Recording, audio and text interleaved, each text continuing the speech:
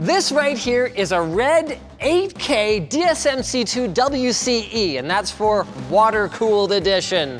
That's right, my friends, we water-cooled an 8K red camera. This solution, believe it or not, was entirely engineered in-house and delivers on two things from our original teardown of this camera. One, we did manage to water cool a red cinema camera. And two, it did end up being quite a lengthy project. It ended up taking us, yes, exactly one year to the day. In that time, we acquired a new warehouse unit, filled it with equipment that we needed in order to complete this project, learned how to use said equipment, and spent a lot of time asking ourselves, why the hell did we promise you guys we were gonna do this? But it all comes to an end now. Stay tuned guys, because we're gonna show you exactly how it worked. By the way, it's recording right now. You can see right there, even though we've been recording for a long time, we are locked at 35 degrees Celsius. Freaking awesome. Thermal Grizzly's Conductonaut liquid metal thermal interface material offers maximum cooling performance. Check it out and keep things cool at the link in the video description. So this right here is the easier of the several heat sinks that we have to do. Yep. For this one right here, the plan is basically to just chop off the fins and screw a water block on right there. The biggest problem that we're going to have with like oh. any of these is just that our water block and fittings and everything has to be contained within the size of these fins or it doesn't it. fit in the camera. For those wondering why we don't just refabricate this part, uh, if you look at the bottom and all these cutouts, I mean, Red hasn't provided us any schematics. We'd be just, measuring this would be a nightmare. We're doing our best. Yeah, and if you get one of these heights a bit wrong and tighten it down, there's a good chance that you could just crack a chip. But that's not even the hard one. That's the easy one. This right here is the really difficult one that we have to do first. Uh -huh. The plan is to chop all of these fins off mm -hmm and then create a super small water block that just fits on here, and then the fittings come out the back. And that's what we have modeled right here, which looks pretty simple, you have to consider that all of that is within about this big. So we chop all the fins off, yep. but we leave the pipes. Pipes are still there, yeah. And that block slides onto the pipes? Yep, through these holes that are right here and right here. So we are effectively water cooling the heat pipes. Yes. Okay, this makes perfect sense to me yep. in that context. The first thing we need to do is try to remove the fins from this heat pipe without screwing up the heat pipe itself. Getting this off cleanly is mission critical, so I'm not gonna screw around with trying to do it fast. I'm just gonna file it off and it's gonna take a while. Hmm.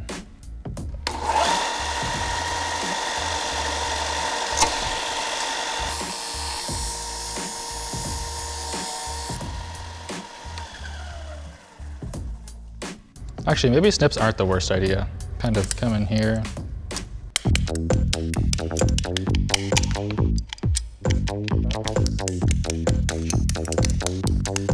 All right, so a material like copper, which is what these heat pipes are made out of, they do this thing that's called work hardening. Like bend it a little bit and then bend it a little bit and then bend it a little bit. It slowly becomes harder and also more brittle. This right here is a perfect example of that. It just snapped right there. It means my job just got a whole lot harder. We're gonna have to order some heat pipes now from DigiKey. We're gonna have to make a custom jig on the router to create the bend that we need. It's, it's just gonna be a bad time. It's gonna be a lot of work that I did not want to do, but now I need to. While Alex tries to figure that out, let's go through the tools that you're gonna need to water cool your 8K RED camera, which is I'm sure why you guys are watching this video. First and foremost, you're gonna want a CNC router or mill. So this is from Avid CNC, it's their Pro 4848, and you could probably get the job done with just this and a drill press. But if you wanted to make your life a little bit easier, a manual mill like this one here, and a lathe are gonna go a long way. By the way, guys, I do wanna give a shout out to O Canada Tool Supply for all the drills, taps, indicators, storage, and PPE that we're using in this project here. We're gonna have a list of all of it down below, so thanks guys. Just as important as the physical tools is the software, and for this we'll be using SolidWorks and HSMWorks. This first heatsink cools the logic of the camera, a couple FPGAs, memory, that sort of stuff. We've used similar designs to this to cool desktop CPUs, so I'm not too concerned about its performance. For the sensor though, we need to create this really weird heatsink attached to heat pipes. This is where we needed to verify that it will all work well in SOLIDWORKS flow simulation before proceeding to machining. First of all, the design is pretty wacky, so I want to double check that the water will flow reasonably well through the heatsink.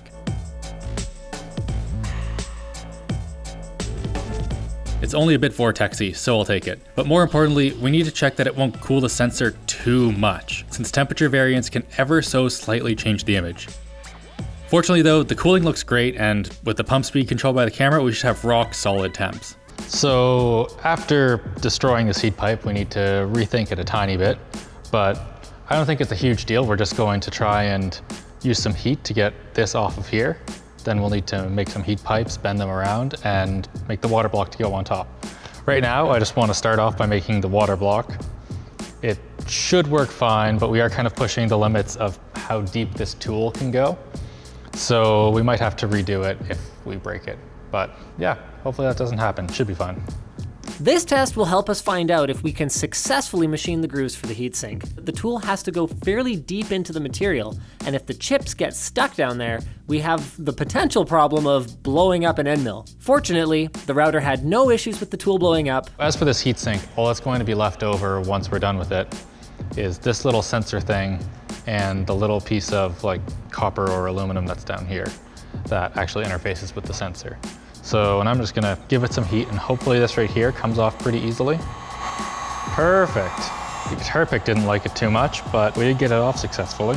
So since the heat pipes do not need to survive this operation, we can be a bit less nice to them. Oh, this is just horrendous. Oh, come on. Well, it was nice knowing you. Now we're going to work on replacing this heatsink right here with a water cooler. This one's a lot simpler than the other one, so it's just kind of lop off the fins, stick a normal water cooler on top. The only real problem is that it needs to be pretty small. So like these are the fittings that we have. As you can see, it needs to go right down in here. We might need to cut off like the bottom and some of the top to get everything to fit in. We might have some kinking on the top. We'll just need to put it together to find out. So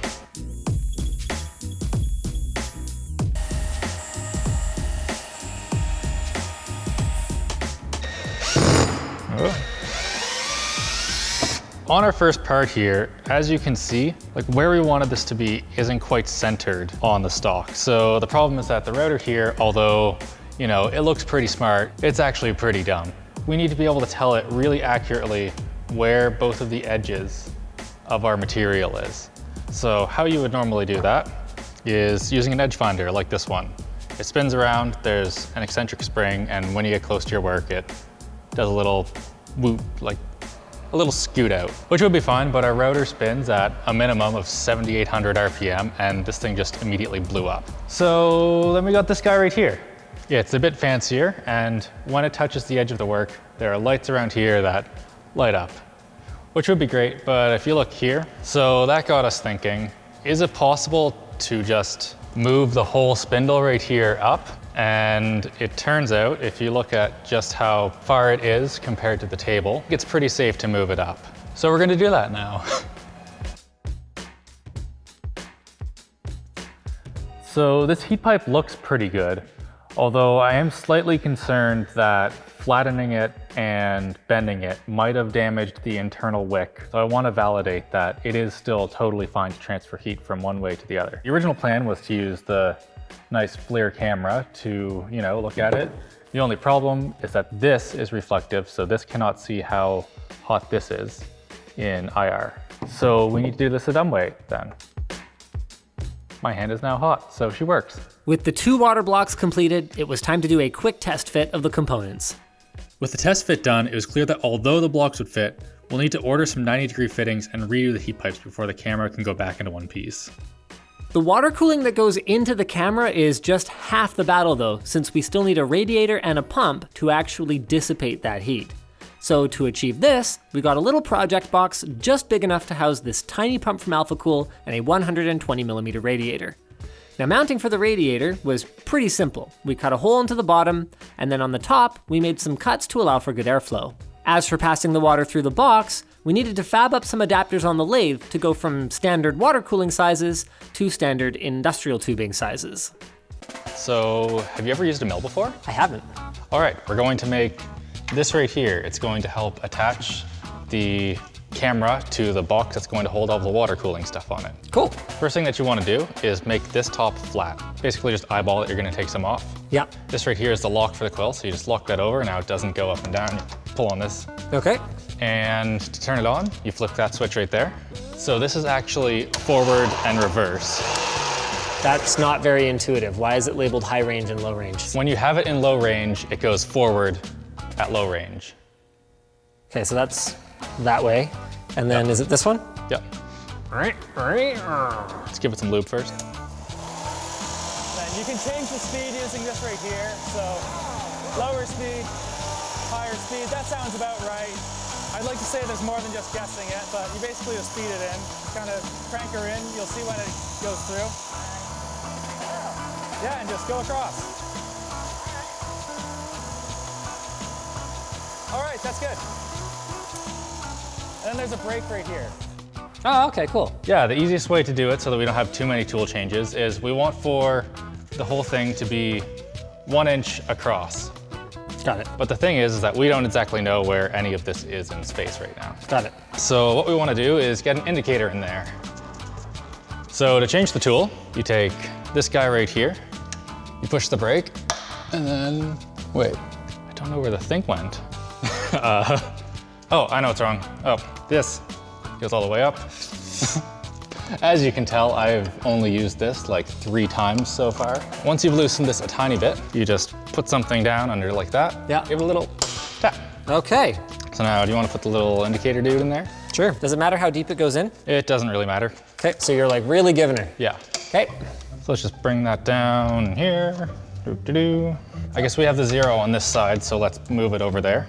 Also, there's power feed on that, so you can just Ah!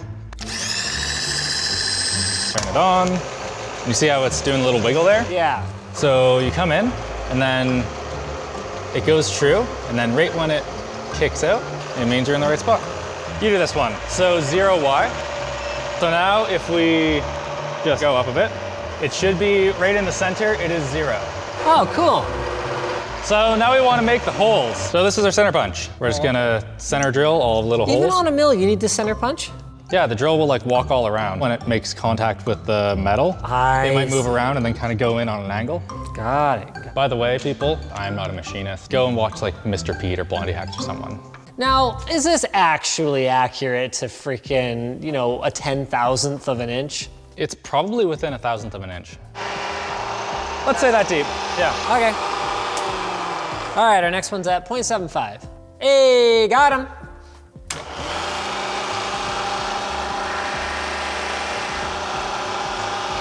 Perfect. Okay. Neat. So now we change our bit again. Yep. We're gonna wanna go back to the half inch cutter that we had before because it's a pain in the butt to swap to the drill bit holder. So we want to remove this junk. Yep. So when you do a cut that's a bit deeper like this, you want to use conventional milling. So if something grabs, it pushes the cutter out of the piece and nothing funky happens. Whereas if you do it the other way, which is climb milling, you can get a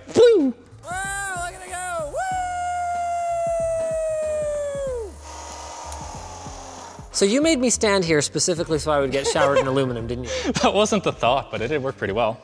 And it doesn't matter that it's smoking like that. No, it's fine. That's the lube smoking, not the actual part. Woo! It's like Saturn and So final hole here, go over. That was my nickname in college. What? Uh, so now we get to do the most funnest part. So that's tapping it. It's kind of, this is a pretty dumb way to do this. Well, I'm, I'm not the one instructing. You're the one teaching me. We need to go out all the way for this one. Oh. We're taking out the whole collet. Hey, there it goes. Trying to hide it, but I'm breathing a little heavily. So full disclosure, I've only done this like three times before, and it's been really scary every single time. Why scary? This needs a lot of lube. Oh, something broke. Our tap broke. Why did it do that? Are you asking me? What are the odds I'm gonna know? I don't know, that's how I've done it every other time, it's been fine. How much are those? I don't think they're too bad, like 20 bucks or something. definitely not what you want to break. All right, so the box that all of the water cooling bits are going to go into is almost done. We have the fittings here that were made on the lathe and they've just been JB welded in there. We also have some gasket material here that the fan header goes through.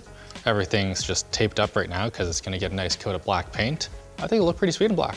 I was reviewing the footage and I realized that something pretty unfortunate happened. So this moved just ever so slightly in the vise because the bottom here isn't perfectly flat. So what that means is that on this side, the O-ring groove is about 10 thousandths of an inch larger than this side.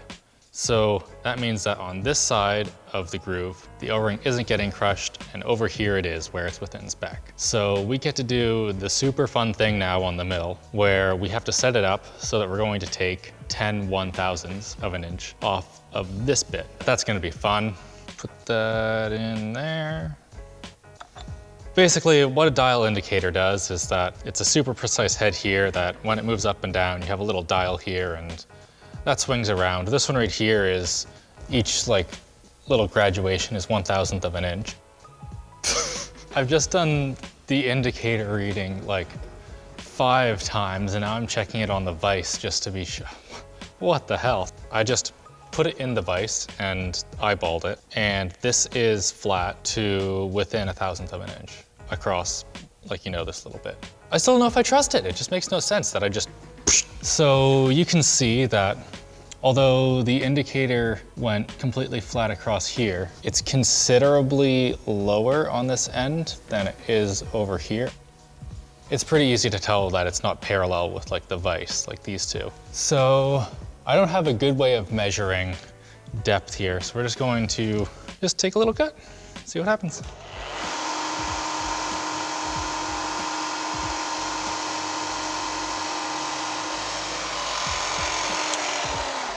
Hopefully we are good. 0.05. Exactly what we're looking for.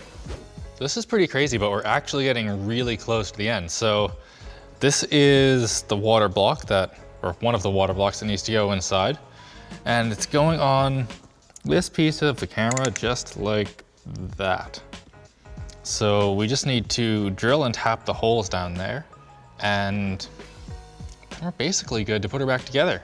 So I had a bit of an idea. I am gonna do the math to figure out where each of the holes go, but just as a sanity check, because sometimes, you know, your brain can be a bit dumb, I'm gonna just take this like test piece that we have here, Loctite it just right to the top of the surface, and then we've got a hole guide. Where, where did I put the Loctite? Oh, there it is. I wish that life had control F dabbing it on. Let's just leave that for a second and let that dry. Oh, it's so tempting to just not do the math and just drill them in the center of those. No, no we're, we're gonna do this right.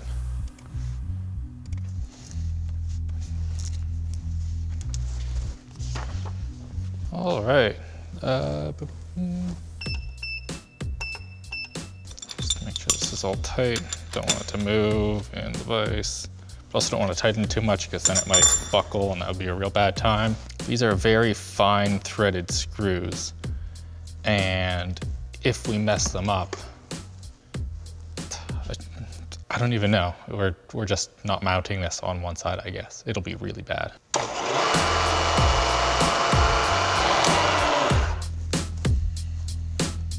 All right, one down. There's so much temptation to just chuck this in the drill right there and just give her with the Bridgeport. It's pretty crazy to think that tomorrow this thing's gonna be just ready to go back together, hopefully. Uh, Maingear's Element Gaming laptop is available at 25 Micro Center locations as well as on Amazon and features an Intel Core i7-9750H processor, an NVIDIA GeForce RTX 2070 Max-Q, 32 gigs of DDR4 RAM, 2 terabytes of NVMe storage, and if you purchase it at your nearest Micro Center store, you can save an additional $100. So check out this and other Micro Center specials at the links below. Next time on Linus Tech Tips things get kinda sexy. Things get dropped. And things get wet.